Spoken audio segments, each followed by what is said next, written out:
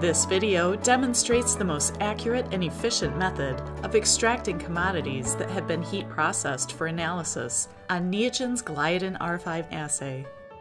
This video serves only as a companion to the written materials supplied with the Veratox for Gliadin R5 test kit. Please read and follow the written instructions in their entirety. To extract samples potentially containing gluten that have been heat processed, you will need Gliadin renaturing cocktail solution, ethanol, distilled or deionized water, two 1 liter bottles, a scale to weigh 0.25 grams, 50 cc screw cap centrifuge tube, 10 milliliter tube, means to measure 2.3 to 7.5 milliliters. PBS packet and extraction additive included in the Veratox Gliadin R5 test kit.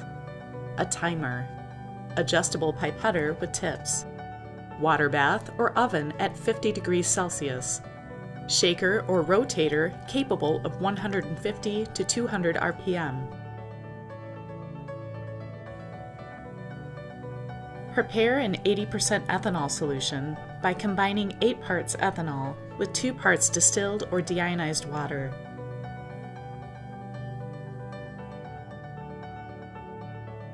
Prepare the PBS sample extract dilution solutions by adding a foil pouch of sample dilution concentrate to 1 liter of distilled or deionized water. Mix.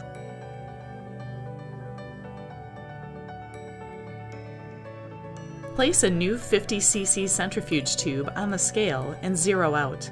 Weigh out 0.25 grams of sample into the tube. Add 2.5 milliliters of renaturing cocktail solution to the sample. If the sample you are testing contains buckwheat, chestnut flour, or tannins and phenolic compounds, add one level scoop of extraction additive from the test kit. Do not add extraction additive for any other commodity types. Cap the tube and vortex for 30 seconds to homogenize the sample and cocktail solution.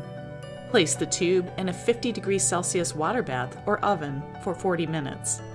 Remove your samples from the water bath or oven and let them cool for 5 to 10 minutes. Add 7.5 milliliters of 80% ethanol to the tube and vortex for 10 to 20 seconds. Place on a rotator and shake at 150 to 200 RPM for 1 hour at room temperature. If necessary, centrifuge sample for 10 minutes. Sample extracts must be diluted. Using a clean 10 cc tube, dilute your sample 1 to 12.5.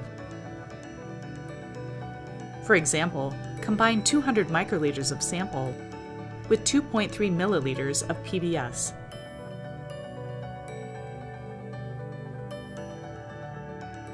Mix by vortexing for 5 seconds. Your diluted samples are now ready for the assay. Samples should be analyzed within 2 to 3 hours using the Veratox for Gliadin R5 test kit.